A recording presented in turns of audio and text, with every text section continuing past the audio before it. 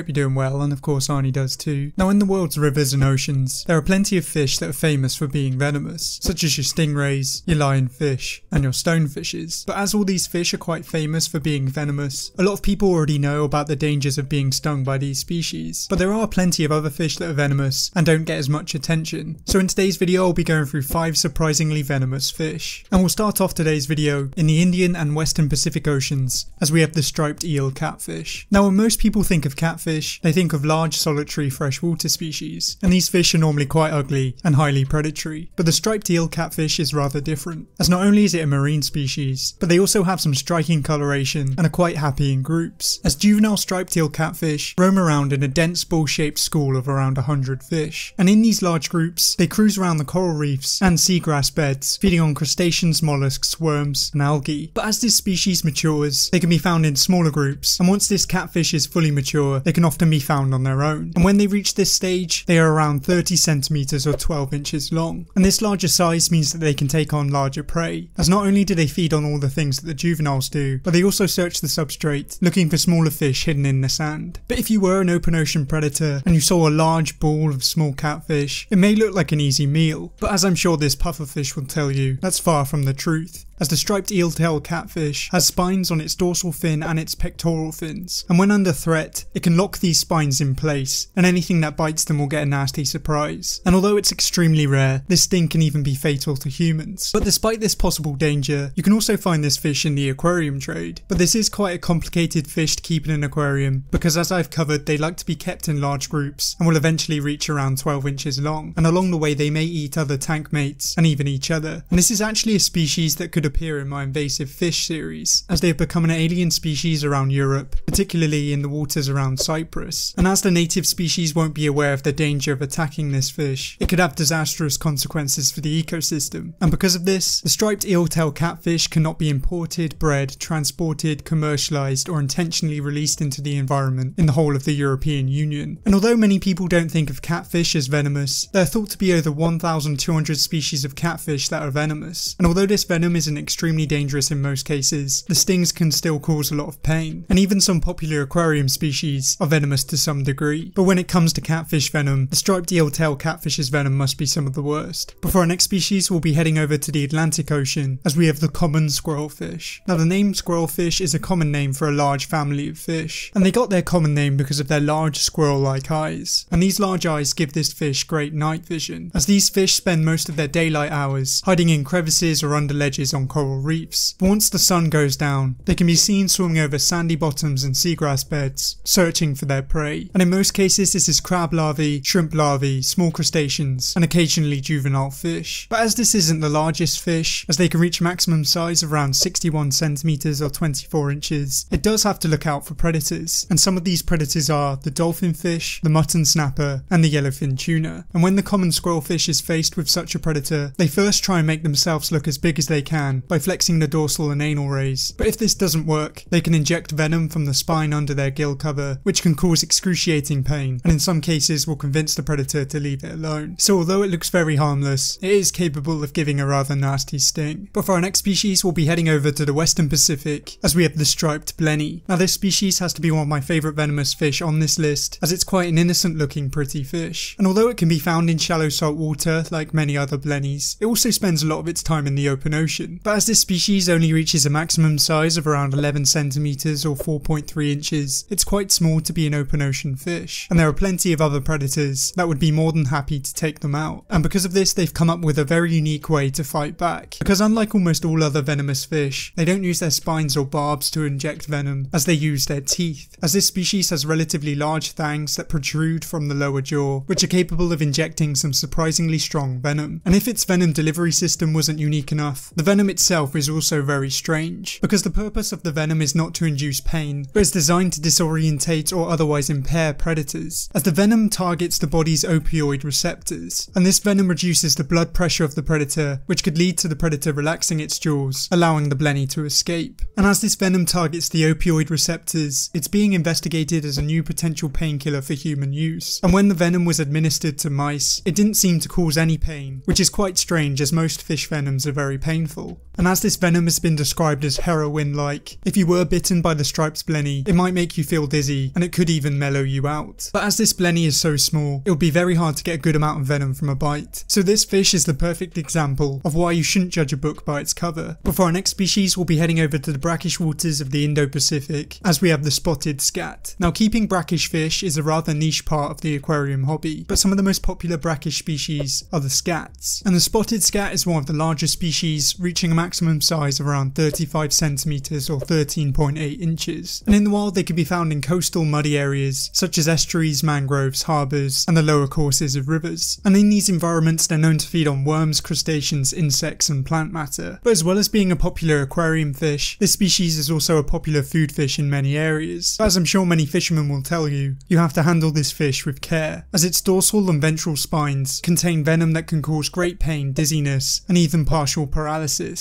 But if you were stung by a spotted scat, the best way to treat the wound is by soaking it in hot water, which should dull the effects of the sting. But in some ways I don't blame the spotted scat for stinging humans, as not only do we catch them and eat them, but we've given them a quite horrible name, because their scientific name translated from Greek means spotted feces eater. So if you have one of these guys in an aquarium, you should be careful when handling them. But for our next species, we'll be heading to marine waters worldwide, as we have the stargazers. Now the stargazers are some of the weirdest fish that I've featured on the channel, and there are around 51 species in this weird and wonderful family. And one of the first things that you may notice about the stargazers is that most of their face is on the top of their head, and this is perfectly suited for their lifestyle, as they are most often found buried in the substrate, with their eyes looking up for prey, or as their name suggests, looking up at the stars. And most of the species in this family are quite small, with one of the largest species, the giant stargazer, reaching a maximum size of around 90 centimeters, or around 35 inches, although most species are a lot smaller than this. So because of this smaller size, they have a few interesting ways of defending themselves from other predators, such as rays and sharks. As some species of stargazers can defend themselves using electric shocks, as these species have a single electric organ consisting of modified eye muscles, which are capable of shocking nearby predators. But these electric stargazers are unique among all other electric fish, as they're the only electric fish that do not possess specialized electroreceptors. But as well as having this shocking ability, they also have two large venomous spines above their pectoral fins. And if you manage to tread on a stargazer, it can be very painful, but in most cases this is not life threatening. But there has been a few reports of people being stung by the Atlantic stargazer, which has resulted in a handful of deaths. So although it doesn't have the deadliest venom, it's one of the most nightmare inducing fish out there. But that's about it for this video. If you know of any other surprisingly venomous fish, then leave them down in the comments below, and I might make a part 2. And also if you've been stung by any of the species on this list, also let me know down in the comments below, as I'll be quite interested to find out how bad their stings really are. But thank you for watching, I hope you enjoyed. If you liked it, please leave a like and subscribe if you want to see more videos like these.